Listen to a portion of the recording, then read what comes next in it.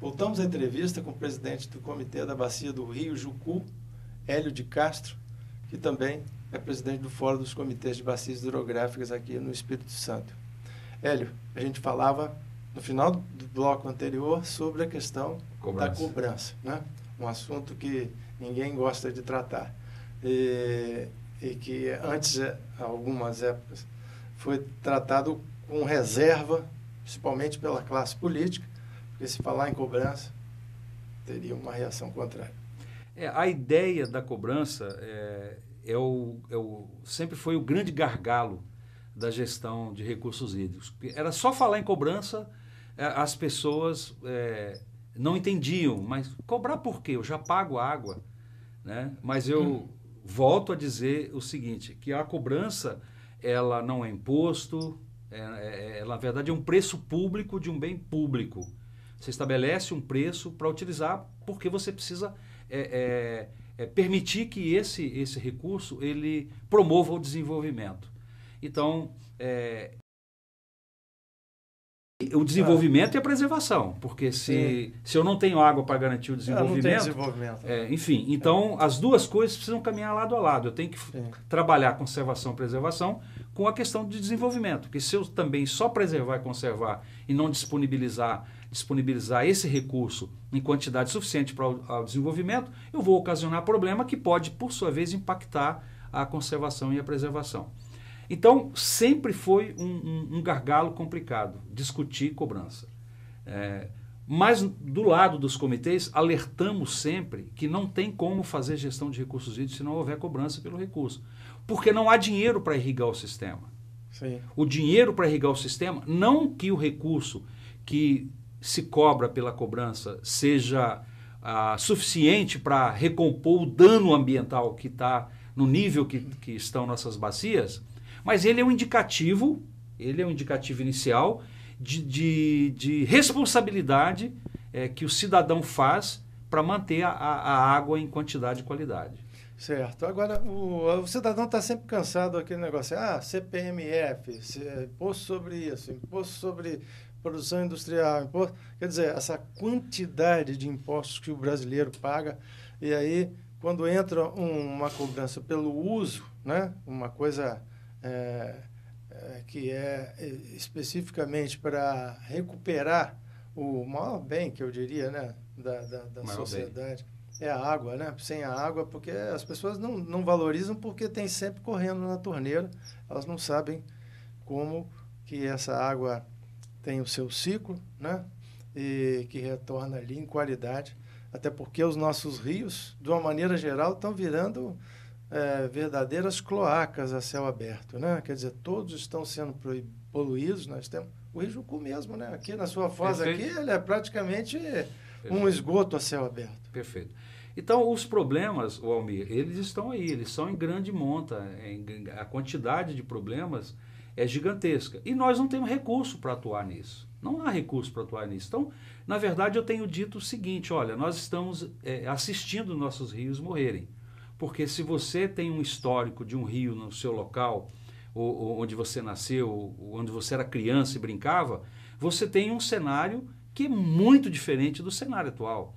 Às vezes um corpo, um, um, um, rio em que você nadava nele, hoje você vai lá ele tem uma lâmina de 20 centímetros de água, 30 centímetros. Olha a situação é que está o Rio Doce, olha a situação que está o rio, o rio Jucu. De um modo geral, do, do Itapemirim até o Itaúnas, os problemas são os mesmos.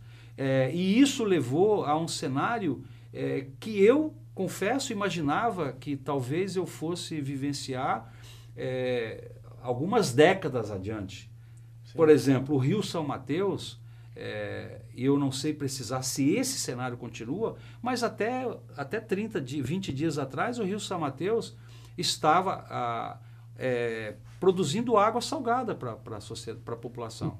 A vazão muito grande, a cunha salina interferiu rio acima, é, mudou o fluxo das a vazão águas. pequena, né? É, a vazão baixa. É, é, permitiu que a cunha salina a cunha entrasse, salina mar, né? entrasse e a água, São Mateus estava sem água. Ficou 40, o sistema de abastecimento ficou 40 dias sem fornecer água e depois foi obrigado a fornecer água, é, água salgada. É preciso dizer isso.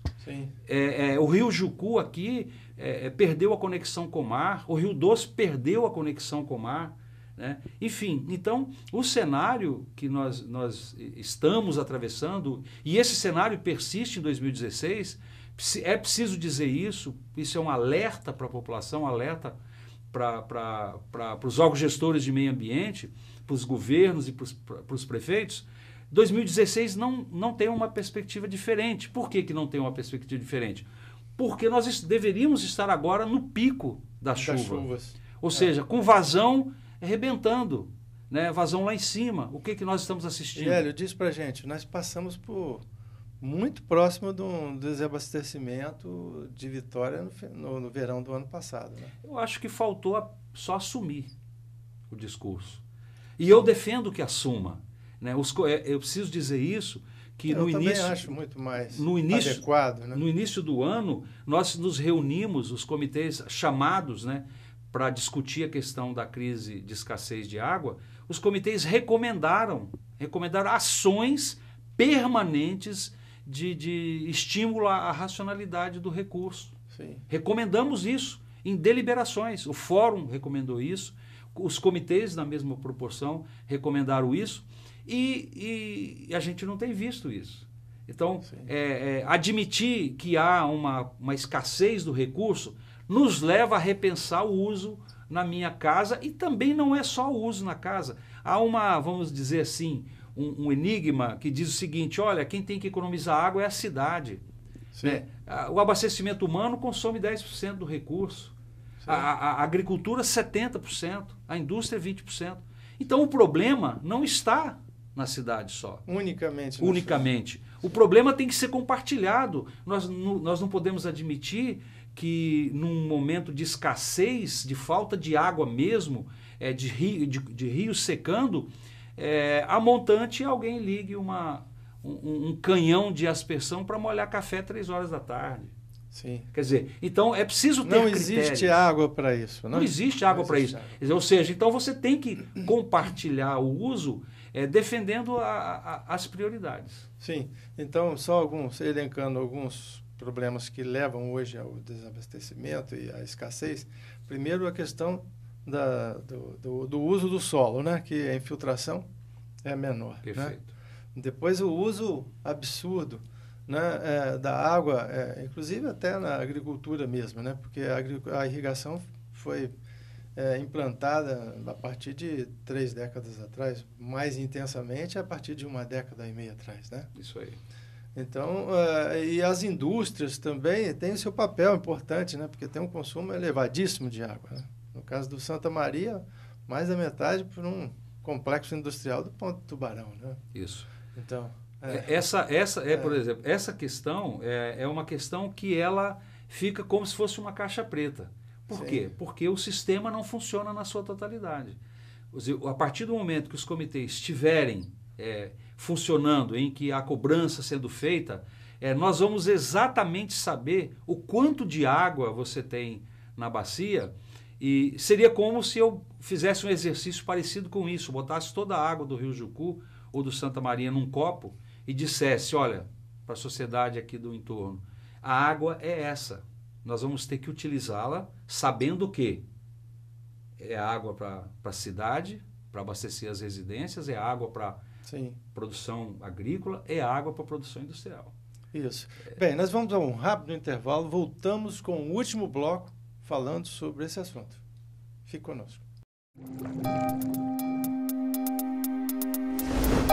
Música